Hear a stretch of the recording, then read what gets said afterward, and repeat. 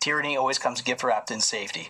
That's right. So this bill is wants to be part of what's called the Pandemic Prevention and Preparedness Act.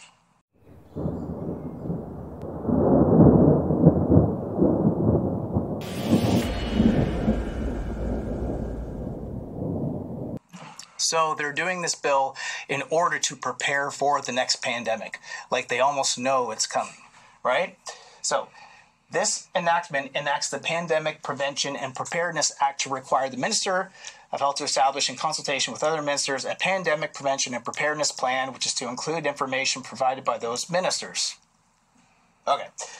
Um, it amends the Department of Health Act to provide that the Minister of Health must appoint a national pandemic prevention and preparedness coordinator from among the officials of the Public Health Agency of Canada to coordinate activities under the Pandemic Prevention and Preparedness Act. Whatever.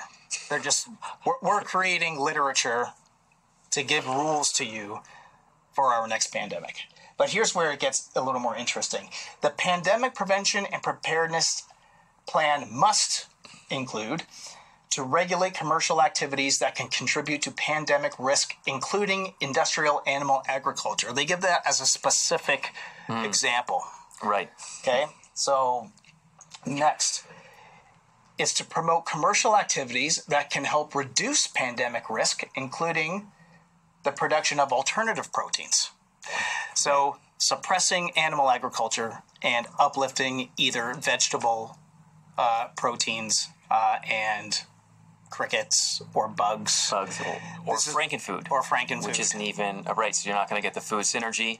Yeah. Um, we talked about the anti-nutrients. Well, you just say we kind of that, that wasn't a main point for the plants actually, but for bugs, that's They have Well, defense they- They, mechanisms. ha- yeah, and they there's there's just weird thing like yeah, just weird No. compounds in bugs that I.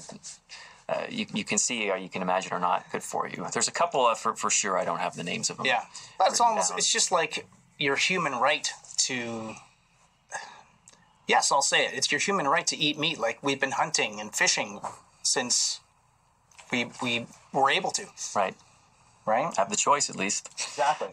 Um, and then it goes on to further say to completely phase out commercial activities that disproportionately contribute to pandemic risk, including activities that involve high risk species, i.e., meat, Right. right? bird flu, cow disease, whatever. Right. So it's interesting because when I brought these books, um, you know, I thought I was going to talk much more, like refer to the sacred cow much more, which I still uh, do, especially for learning some of the finer points and having references, like today, and how this is looped in with the pandemic stuff. Yeah. Um, actually, that's uh, his "Can You Catch a Cold," and looking at um, how things really.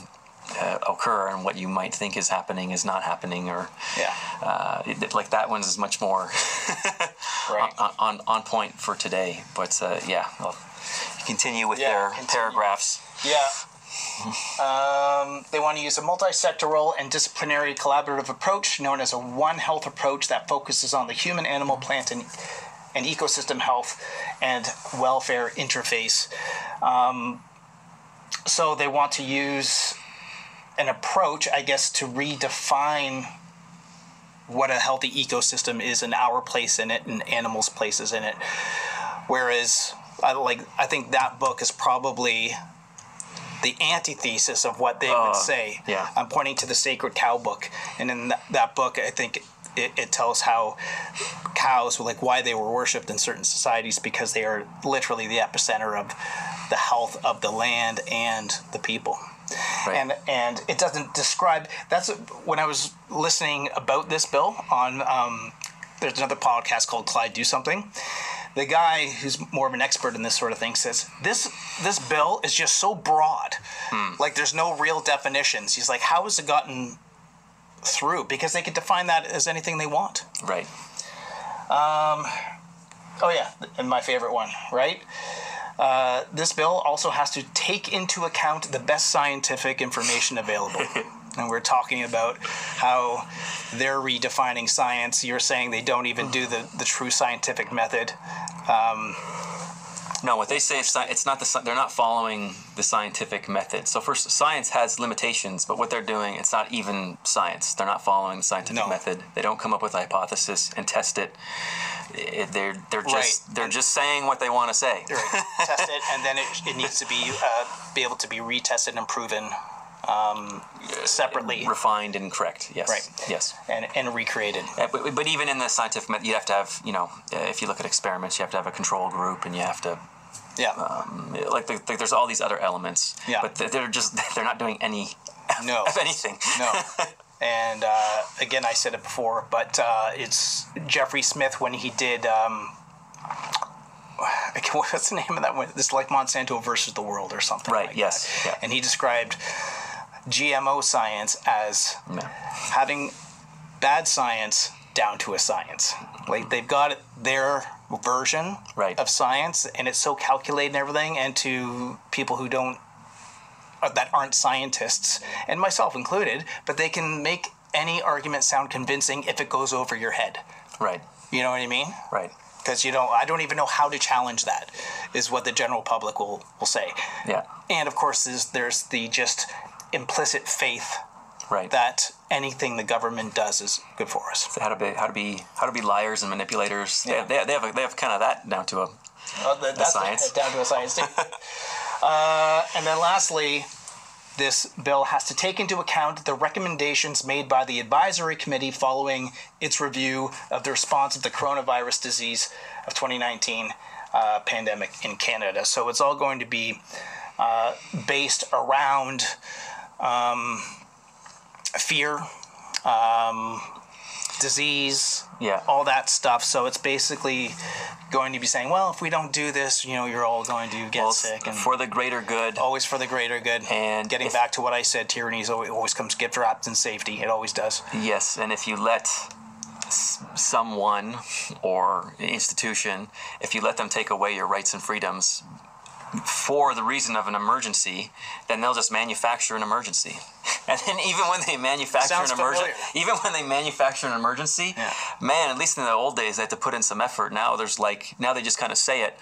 Yeah. they, like, they say it on paper. Oh well, there's an emergency because, uh, yeah, Yeah. or they, they do what, whatever some bogus test or they just I don't know they just have to have a press conference and say it That's it. like there doesn't have to be No. anything anymore No, and then it's just invoked so ridiculous invoke an act or an order or whatever. Yeah. Anyways, um, I think that's it. Did you want to add anything else with the bill? I just wanted to bring it to light that that is a thing that's happening, and anyone who's listening should look into that. Yeah. You can always write to your MP or whatever they tell you to do, but you always vote with your dollars. So similar playbooks to I mean I guess in the World War II maybe one but is, is how, their control mechanism then was food rationing food rationing, yes. oh, we have to do this or that for the troops. So, and of course, we need meat for the troops. Hey, if, if meat was so bad, why is it that meat, the, the troops get the priority, right? But, anyways, Oh, because apparently our, our physiology has changed in 100 years. Oh, now it's bad for us. yeah, so there's a food, but this is still, this is just food rationing, but now instead of um,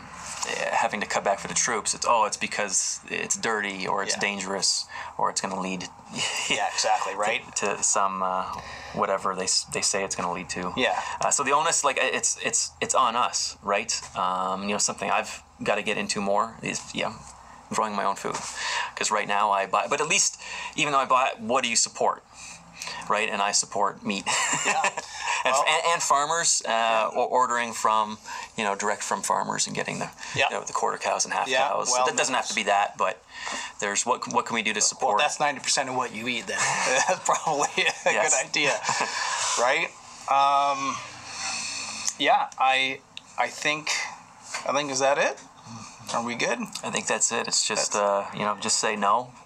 Just say no, yeah, if, if the next BS if someone tells you to close down or stop doing something, don't- just don't, yeah, just, don't, do it. Don't do it. if when if it ever came down to nuts and bolts and uh, you just just do the right thing.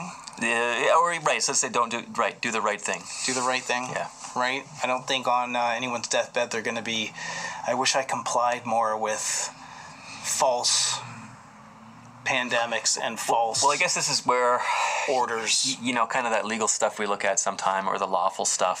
Yeah. It's if someone says something, say, "Oh, I'd be happy to comply if you can show me X, Y, Z," Yeah. and then list your criteria. Can you show me where this has been validated? Can you show me like there's there's Yeah. elements like that? So, if something ever happens, we can always do a follow up and to stay tuned and, and have some specifics there. Yeah, perfect. But at least it's it's in the time being, it's you know food for thought. It is food for thought, literally. Uh, so where can people find you? Because you also you do online um, programs or you do uh, virtual. I don't know if you still do that. I saw you doing that a little while ago. Yeah, if, if they went to my yourmissinglink.ca website, you would contact Tim at yourmissinglink.ca. But but even through the contact form at uh, Functional At Strength, Functional Strength, yeah, yeah. You'll, and you'll find me here, like where I am right now. Right. So that's that's the Functional Strength Training Center in Burlington, Ontario. Because I'm sure there's lots of gyms around the world that are called Functional Strength. But No. that's, that's we're the only one. Um, so that's it. So thanks everyone for listening. Um, any questions? Please leave a comment because I'll uh, try to answer them. Um, or if you're listening. And I think that's going to be it for us till next time. Remember, stay strong and free. That's it. That's it. Thanks. Later, buddy. Thanks for coming. Thanks for watching or listening. If you did like the content, please hit subscribe so that we can create more content like this. You can check out all of my strength training programs and supplements at thenaturalalpha.com. Stay strong and free.